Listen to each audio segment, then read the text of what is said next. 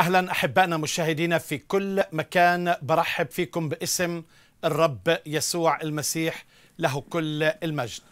حديثنا اليوم رح نستكمل الموضوع اللي ابتدينا فيه الأسبوع الماضي مع أختنا رشا نور والحديث عن هل الفرائض الدينية كافية للخلاص؟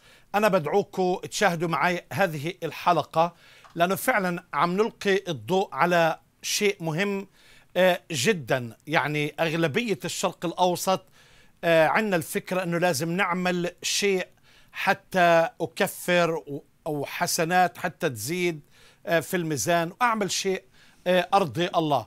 وأغلب الناس بتعملها عن نية طيبة وعاوزة توصل لله بأي شكل بأي وسيلة من الوسائل.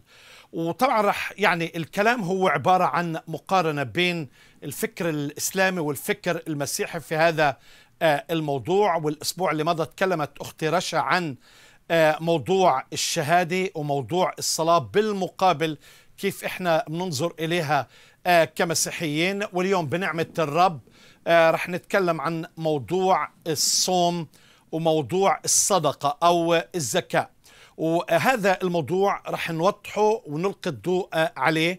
وبنفس الوقت أنا بحب أشجع مشاهدينا إذا عندك مداخلة أو أي استفسار بعد الجزء الأول يعني بعد الفاصل الأول فيك تتصل معنا.